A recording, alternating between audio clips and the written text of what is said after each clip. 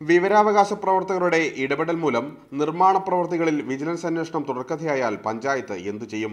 ഇവരുടെ നടപടികൾ കാരണം വികസന പ്രവർത്തനങ്ങൾ മുടങ്ങുന്നുവെന്നും ഇത് ഉന്നത ഉദ്യോഗസ്ഥരുടെ ശ്രദ്ധയിൽപ്പെടുത്തണമെന്നും ഭരണസമിതി യോഗം ചേർന്ന് തീരുമാനിക്കും. കോട്ടയം ജില്ലയിലെ മണർകാട് പഞ്ചായത്താണ് ഇത്തരമൊരു വഴി തെരഞ്ഞെടുത്തത്.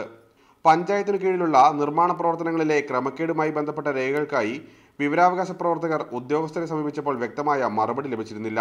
തുടർന്ന് അപ്പീലുമായി പോകുമ്പോൾ മാത്രമായിരുന്നു വിവരം തരാൻ അധികൃതർ സൗമനസ്യം കാണിച്ചത്. ഇവരുടെ ഇടപെടൽ മൂലം വിജിലൻസ് കേസുകൾ തുറക്കഥയായതോടെ ഭരണസമിതിയും പുലിവാൽ പിടിച്ചു. വിജിലൻസ് കേസുകൾ വരുന്നതിനാൽ പണി ഏറ്റെടുക്കാൻ കരാറുകാർ മുന്നോട്ട് വരുന്നില്ലെന്നാണ് പഞ്ചായത്ത് അധികൃതരുടെ വിശദീകരണം.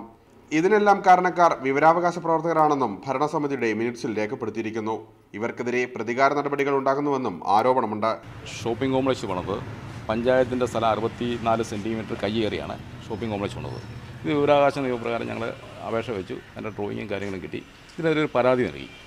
പരാതി നൽകിയിട്ട് ഒരു ആറ് മാസത്തോളമായി. ഇതുവരെ യാതൊരു നടപടിയും ഉണ്ടായിട്ടില്ല.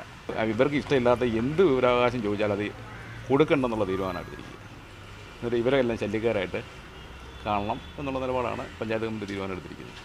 പഞ്ചായത്തിന്റെ നടപടികളെ നിയമപരമായി നേരിടാൻ തന്നെയാണ് ഇവരുടെ തീരുമാനം. അതേസമയം ആരോപണങ്ങളെക്കുറിച്ച് പ്രതികരിക്കാൻ പഞ്ചായത്ത് പ്രസിഡന്റ് തയ്യാറായിട്ടില്ല. Media 1, Kottayam.